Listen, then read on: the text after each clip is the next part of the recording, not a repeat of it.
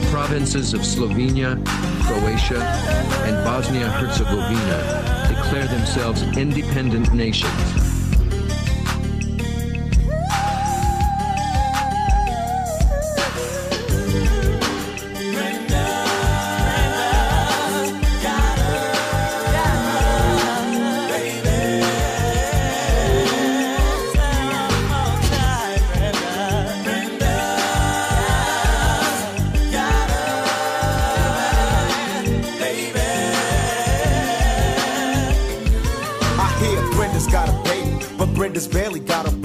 A damn shame, the girl can hardly spell her name. That's not our problem, that's up to Brenda's family.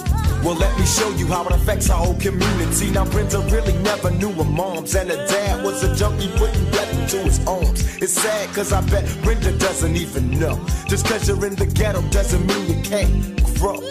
But oh, that's a my own revelation. Do whatever it takes to resist the temptation. Brenda got herself a boyfriend. Her boyfriend was a cousin, now let's watch the joy. And she tried to hide her pregnancy from a family who really didn't care to see or give a damn if she went out and had a church of kids. As long as when the check came, they got first dibs. Because of uh, the HIV virus that I have attained, uh, I will have to retire later.